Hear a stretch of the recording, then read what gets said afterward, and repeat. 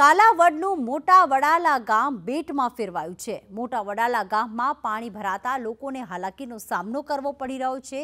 જેમાં શિશાંગ છે, સિંધુડી છે જુવાનપર છે કે જ્યાં ગામ જે પાણી પાણી થઈ ચૂક્યા છે.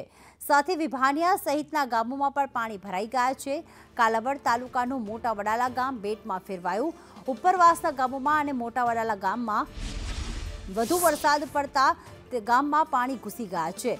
હાલમાં એક્સક્લુઝિવ દ્રશ્યો અત્યારે જામનગરના આપ જોઈ રહ્યા છો કે એક તરફ જે પાણીનું જોર, વરસાદી પાણીનું જોર યથાવત છે, તો બીજી તરફ આકાશી દ્રશ્યોમાં દેખાઈ રહ્યું છે કે અલગ અલગ બિલ્ડિંગો તો આવેલી છે, પરંતુ બિલ્ડિંગની વચ્ચે ક્યાંય રસ્તો નથી દેખાઈ રહ્યો. રસ્તા ઉપર જે વરસાદી પાણી જે છે તે ફરી વળ્યા છે, એટલે કે ક્યાંય રસ્તો દેખાતો નથી, રસ્તાનું નામું નિશાન નથી અને માત્ર નદીની વચ્ચે આખું શહેર ઊભું કરવામાં આવ્યું હોય તેવું દ્રશ્યમાં અત્યારે જોવા મળી રહ્યું છે આકાશી દ્રશ્યો અને બીજી તરફ અલગ અલગ જગ્યાએ ગ્રામ્ય વિસ્તારોમાં વરસાદી પાણીના વહેણ અત્યારે જોવા મળી રહ્યા છે.